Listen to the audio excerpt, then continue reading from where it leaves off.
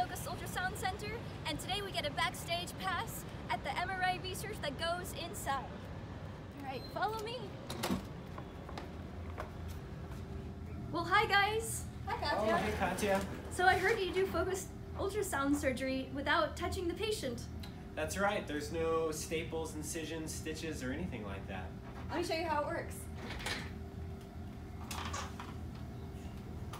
So this is our MRI scanner, and it has a magnet that's 100,000 times stronger than the Earth's magnetic field.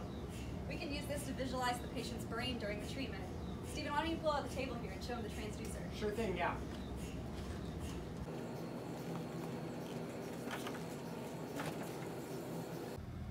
Okay, so what we have here is our special transcranial focused ultrasound system. Behind this black membrane is 1,024 individual ultrasound emitters. So let's say someone has a disease in their brain. What they can do is lie down in this helmet, and this helmet will emit all of those ultrasound beams and direct them right at the part of the brain of the patient's brain that's diseased. When those beams converge, they heat up just that part that's diseased and cook it or kill it, leaving the rest of the brain completely unharmed and perfectly fine. Well, Helen, that treatment looked like it went really smoothly and went very well. Why do we need to do research in this field? Well, Katya, unfortunately we still have problems with visualizing the skull. Um, and because 70% of the energy emitted by the transducer is absorbed directly to the skull, it's very important that we monitor it, uh, especially in treatments where our treatment envelope is near the skull. They can cause damage and heating.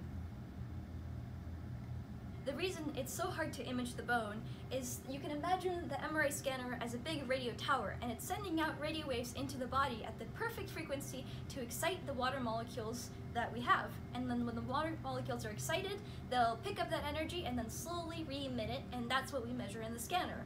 But bone doesn't have that many water molecules, so that's one issue, we're not going to get much signal from it. And second, bone gets rid of that energy so fast we don't even have a chance to measure it. So we've been working on using a pulse sequence, uh, a measurement technique that is super fast, and that's a non-trivial task. And also that signal we get from the bone can tell us uh, information about the temperature of it, but we need to verify this with more experiments.